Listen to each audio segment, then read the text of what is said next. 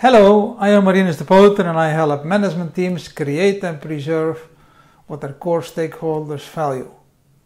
I regularly receive questions about the risk ownership. According to many people, organizations are exposed to all sorts of risks.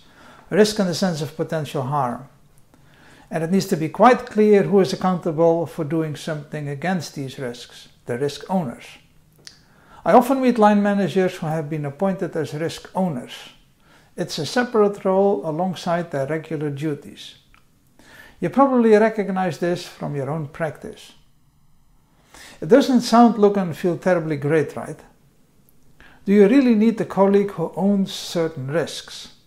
Or would you rather have someone who is accountable for creating and protecting value? How nice would it be if your team could keep things as straightforward as possible and avoid unnecessary complexity? As a result, it would allow you to better focus on the real challenge of every team dealing with competing interests when making decisions. The objectives of your team indicate how you define your success. They reflect the value that they want to create and protect for your core stakeholders. Since your stakeholders don't always have paralleling interests, as a team you have to deal with dilemmas. When you are accountable for delivering goods and services, you also need to determine the business processes. Without proper business processes, you can't make sure that your performance is in accordance with requirements and expectations.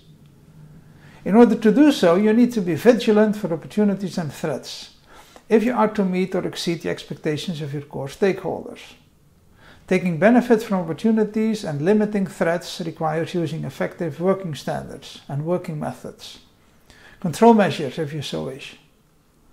Do you need separate risk owners for this? No.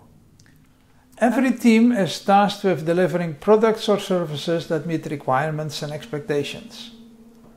Value management helps your team to better deal with divergent stakeholders' interests when allocating your scarce time, attention, and other resources.